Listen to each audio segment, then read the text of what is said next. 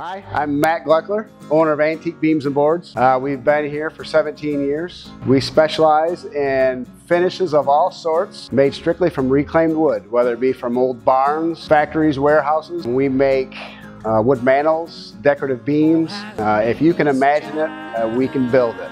For more information, you can reach us by phone at 419-822-3149 or our website, antiquebeamsandboards.com.